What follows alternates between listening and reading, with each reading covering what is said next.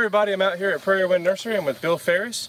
And Bill, you started this nursery 27 years ago, right? Go ahead and tell us a story of kind of how you started this and what you guys do here.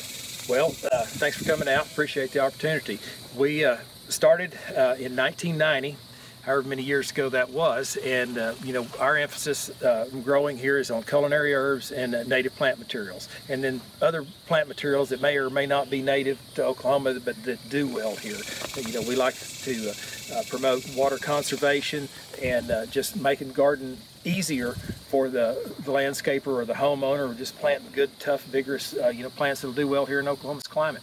Awesome. Let's go take a look and see what all you're doing here. Good deal. Come this way. All righty these are two particular things that I saw that I really wanted to, to show off here. So, uh, Bill, I'll let you take over and talk about what these two plants are. Sure.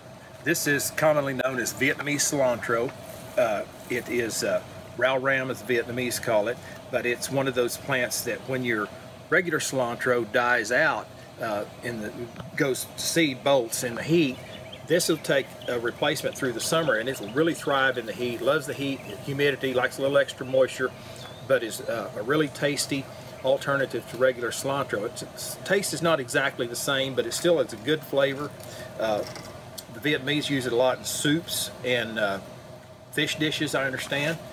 And then the other one, this is culantro. It's an Eryngium in the thistle family.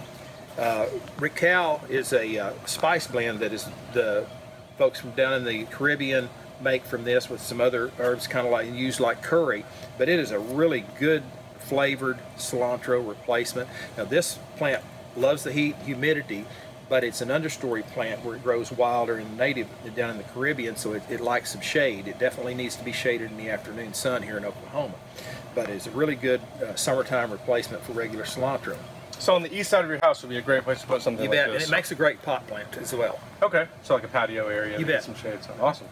Uh, I know, you know, for, for one, I, I, love having cilantro, and it goes to seed so quickly. I mean, I can't keep up with planting it. That's why when I saw Bill speak at the Oklahoma Organic Gardening Association meeting a few months ago, he talked about these two plants, and I picked up some seeds, and I started to try. I tried to start them from seed, but didn't have a lot of success. So I'm glad to see that they have some down here. You know that you can buy. It's four dollars for these plants here, and if you go to Home Depot or Lowe's, you're going to pay you know, at that same price for something that's half the size that isn't this type of variety. You're not going to find this anywhere else. Trust me, I've looked everywhere. this is the first place I've actually seen these in person. So come down here and check these out if you like to have some cilantro flavor through the summer whenever it's just too hot to have them. And if you're growing somewhere else outside of Oklahoma, you don't have access to come here, definitely pick up these varieties and try it. Um, they're a great option in the summer whenever anybody that can't falls. get down here can uh, check out the website too. We can ship it to them.